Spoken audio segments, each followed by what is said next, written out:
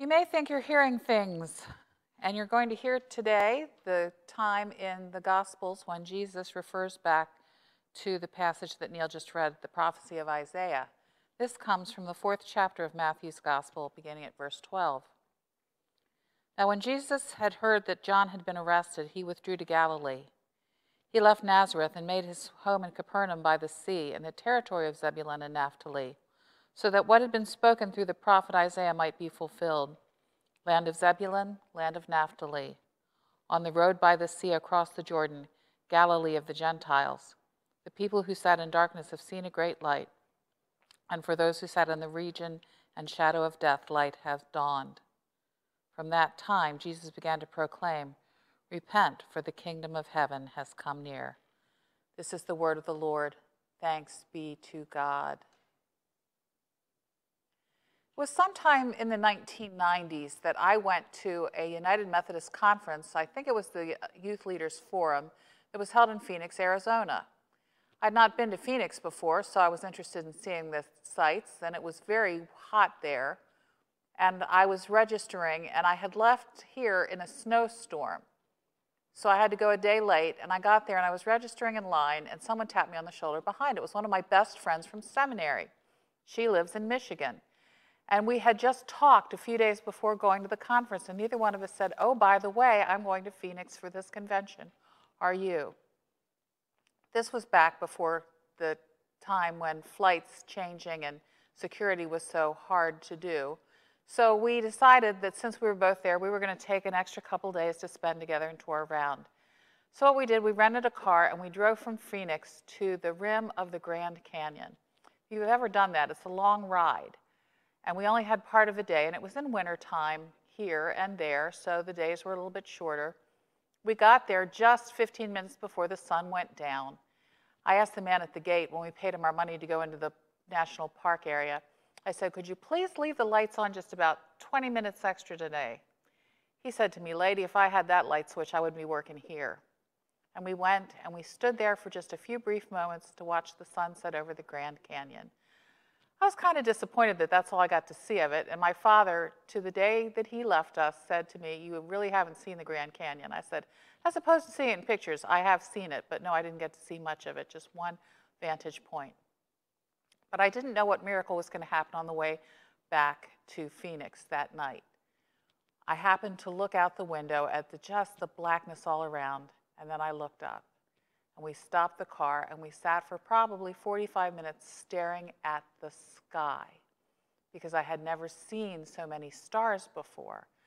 We could see the Milky Way. We could just make out uh, what we call falling stars, which are really meteors coming through the atmosphere burning up.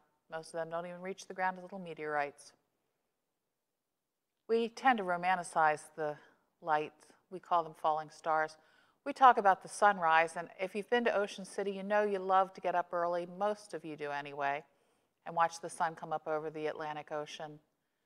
We even talk about things like moonlight, especially in love songs, but if you think about it, the sun does not come up, the sun does not set, and the moon does not give light.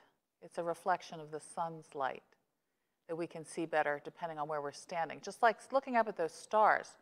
It's not like the stars aren't here above our heads in Cockeysville, Maryland.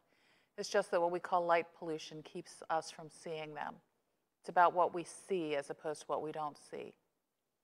I said this season after Epiphany, which is really ordinary time in the life of the church. We don't have a season called Epiphany.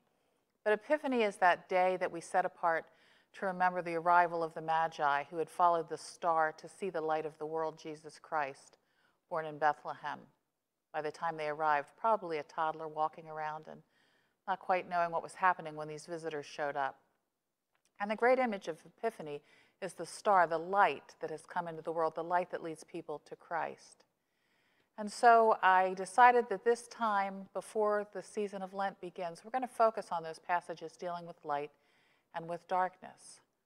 We read today what we have read several times already during the Advent season and even at Christmas, leading up to Christmas Eve. The people who walked in darkness have seen a great light.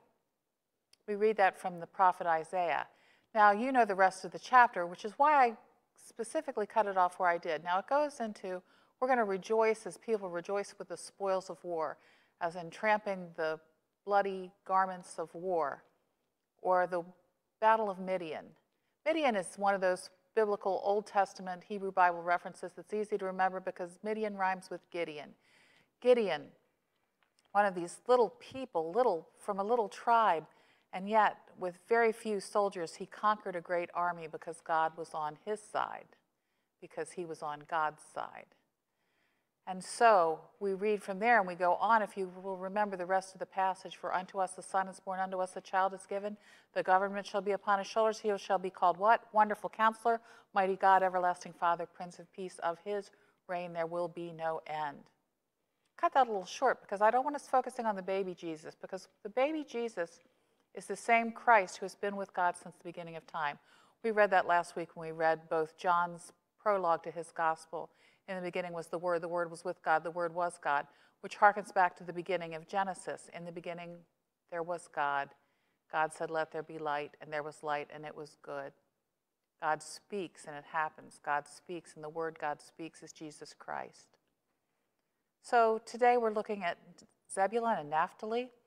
Those are sort of obscure references, aren't they?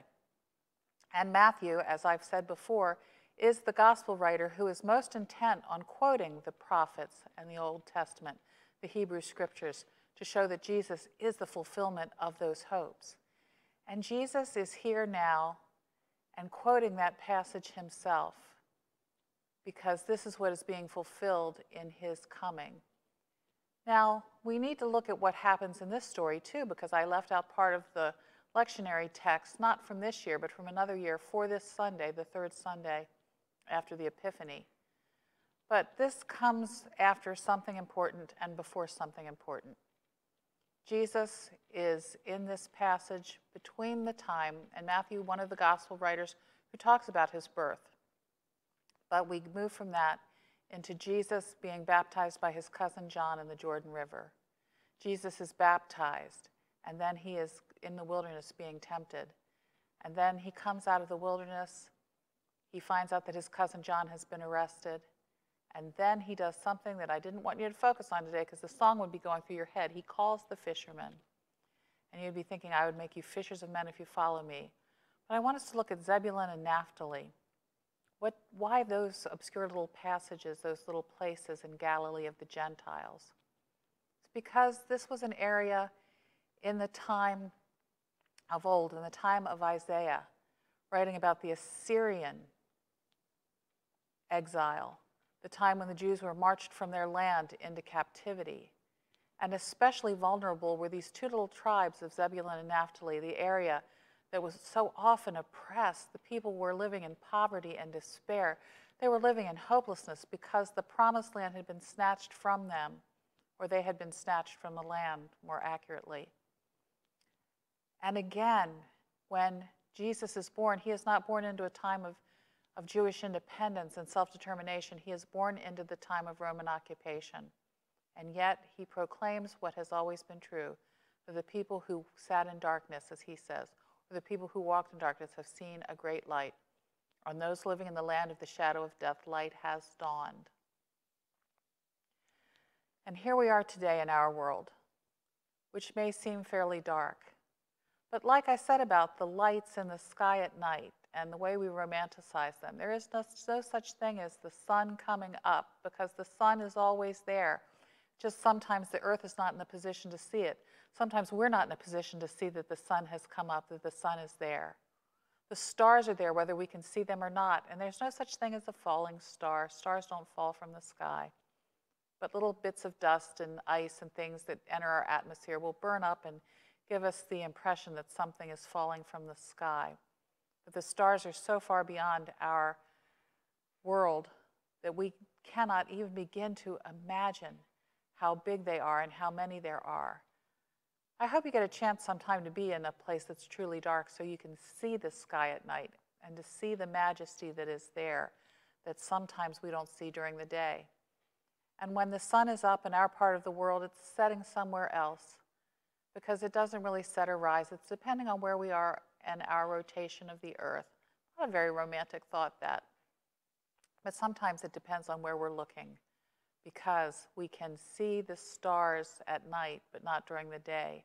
But they are still there, just as sometimes when we feel darkness in our lives, we feel that God is not with us. God is always there. It just depends on where we're looking at the moment. We have to learn to look for Christ in the world and in each other. We have to learn to look beyond the darkness, to remind ourselves in passages like these that the darkness cannot overcome the light because the light of the world is God's love for us in Jesus Christ, God's redemption of humankind in Jesus Christ, God's power revealed to us in Jesus Christ. I listen to a podcast every week before I preach, and one of the things they were saying was the kingdom of God is a hard concept for people to understand because when we think kingdom, we think place. So perhaps a better way to look at it is the reign of Christ, the time, the reality of Christ, who is the light of the world, being sovereign over all things that God has made, all things that were made not without Christ's presence, as John reminded us last week and as we read. And we have to look at what happens with the light in this passage from Matthew's gospel because Jesus has been tempted and we ourselves will be tempted. Jesus was baptized. He submitted himself for baptism, although he knew no sin, so that we might follow his example. And even though John has been arrested, which is a time of great darkness in the life of the people who are beginning to grasp onto the hope that was theirs in God, that the promises of the Messiah were coming true for them, because what does John say? Behold, the Lamb of God who takes away the sin of the world when he sees his cousin coming to be baptized. He says to him, I'm not worthy, Lord. And Jesus says that he will be baptized by John anyway. And then what happens? In this time of despair for Jesus on a personal level, he turns and he calls disciples who pick up their nets and they follow him. They leave all that is behind all that they have known, their livelihoods, their families, their security, and they follow him, not counting the cost. We romanticize light, but we also take it for granted, don't we? How many of you have just gone to get out of bed and flipped a switch and your house is filled with light? Or on the times when the electricity goes out, you really know where your furniture is until the lights are out, don't you? And then suddenly you stub your toe on something very familiar that you knew was there. I remember once I took a group of teenagers in a youth group on a mystery overnight. They didn't know where they were going, and I called one of the local caverns, Crystal Grottoes, out in the western part of Maryland. And I asked them if we could come in at night, if they would open up for us. And they said, sure. And we took the kids in there and we went underground and they turned the lights out and everyone sort of screamed. And suddenly I felt about 20 little sweaty teenage hands grabbing onto me to hold on because it was so disorienting. Because even in our homes, it's hard to get everything so pitch black that you can't see a thing. They said how creepy it is to be in here at night. I said, it's just as creepy at 12 in the afternoon with the sun overhead because when you're this far underground, you can't see anything. We need to remember that the light is there, even though we take it for granted too often. The light is always with us in Jesus Christ, and He will bring us hope and peace.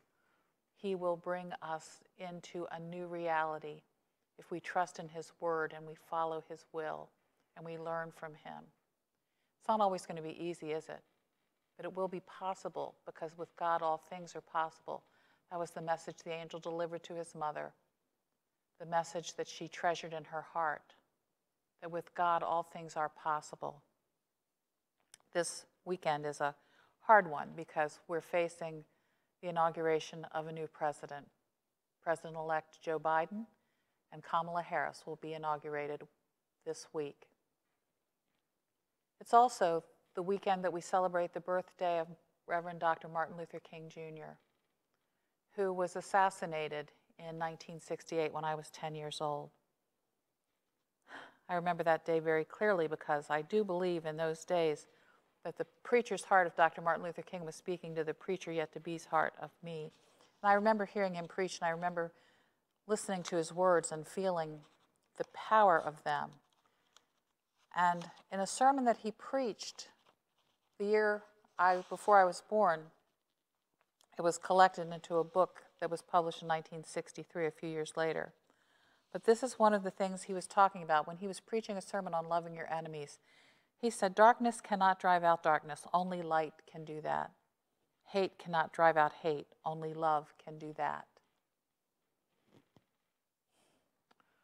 We're at a turning point in our nation where we will continue to argue and debate and disagree and divide ourselves.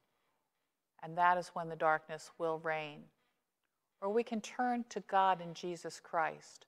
We can understand that His light has come into a very darkened world. We can remind ourselves of the promise that is ours in Him and live as children who are born of light and day.